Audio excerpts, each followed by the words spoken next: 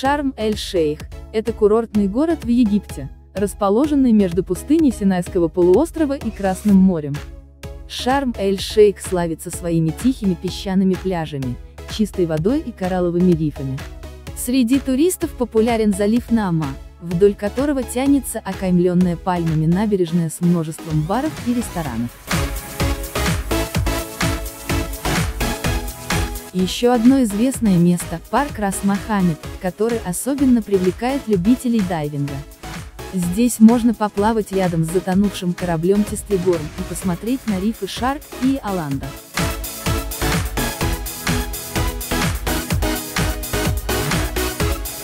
Так как Шарм-эль-Шейх ограничен двумя национальными заповедниками, выходящими к морю, то линия побережья, которая может быть занята постройками, имеет длину около 30 километров.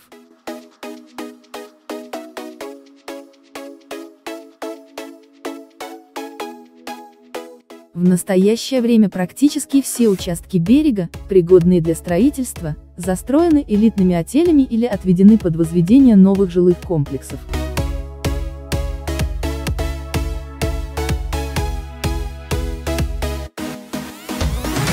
Город продолжает расти вглубь побережья, в сторону горной гряды.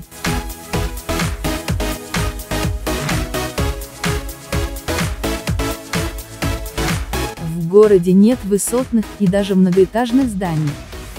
Как правило, жилые дома возводятся в виде небольших комплексов благоустроенных одно-двухэтажных вилл и таунхаусов, которые, как и многочисленные двух-трехэтажные отели, сосредоточены вокруг хорошо озелененной территории с современной инфраструктурой, магазинами, ресторанами, бассейнами и садами. Ввиду растущей популярности курорта инвестиционные компании Египта вкладывают в инфраструктуру города огромные средства. Въезды и выезды охраняются вооруженными людьми и блокпостами. В связи с тем, что мы проезжали во время молитвы, нас не проверяли и мы проехали без остановки.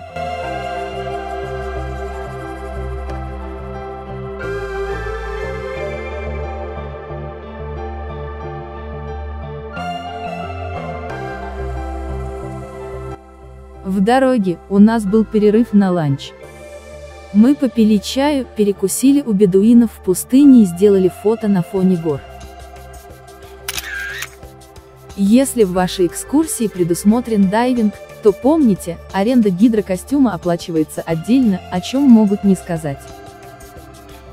Так что возьмите с собой, дополнительно 5-10 долларов на человека. Также не помешает взять антисептик для обработки маски и трубки.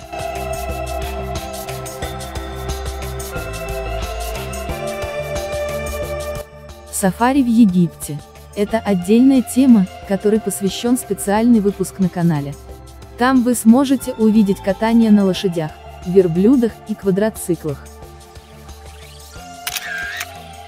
Дороги в этой стране очень хорошие, построены прямо в пустыне, среди гор. В Египте в принципе, сначала делают хорошую дорогу, посреди пустыни, а уже потом что-то строят. Песчаные бури могут застигнуть вас врасплох, так что наличие арафатки – это не дешевые понты, а естественная необходимость.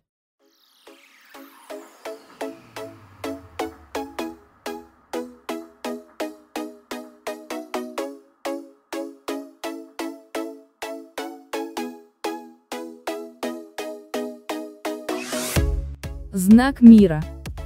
Находится на площади мира, в окружении из кольца света музыкальных фонтанов.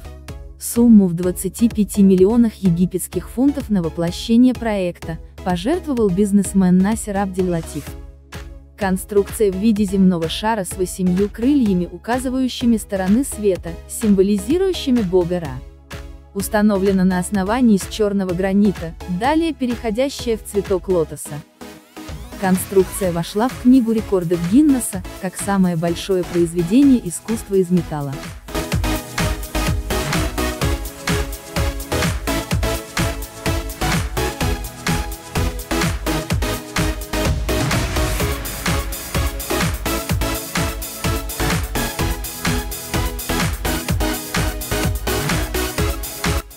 Шарм Эль-Шейх активно строится и с каждым годом становится все привлекательнее.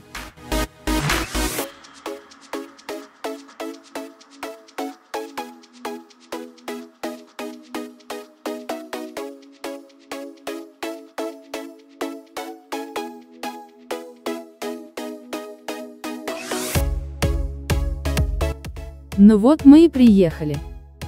Нас встречают замечательные зверушки. А кто из вас был в Шарме? Как ваши впечатления?